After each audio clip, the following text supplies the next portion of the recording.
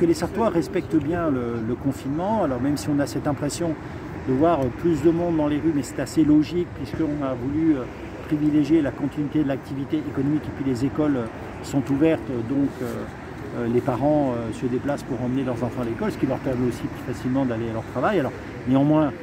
vous savez qu'il y a une forte incitation euh, à euh, utiliser à chaque fois que possible le télétravail jusqu'à 5 jours par semaine. Les employeurs s'y emploient et les administrations d'État également. Les services publics sont ouverts aussi, ce qui, bien sûr, est de nature à provoquer des, déplacements. Et puis, je pense qu'à la différence de la première période de confinement, il n'y a pas cet état de sidération un peu qui avait pu toucher nos concitoyens,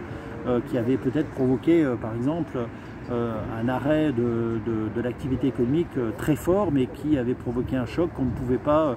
se permettre une deuxième fois d'avoir lors de cette deuxième période de confinement. Néanmoins, il est quand même important de comprendre que le confinement, il a pour objectif de stopper la circulation de l'économie, de réduire les interactions sociales,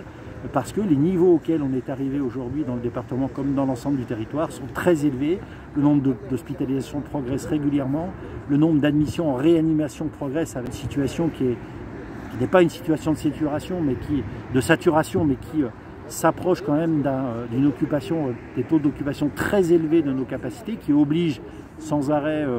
euh, le ministère de la Santé, euh, les hôpitaux à s'organiser pour, euh, par anticipation, ouvrir de nouvelles capacités. Mais il faut absolument qu'on contrôle et qu'on maîtrise ce, flux d'admission à, l'hôpital, ce flux d'admission en réanimation pour faire baisser la pression et éviter surtout des victimes, des pertes de, de vie humaine. C'est la raison, c'est la motivation en fait de toutes les mesures qui sont prises, c'est éviter un bilan humain trop lourd.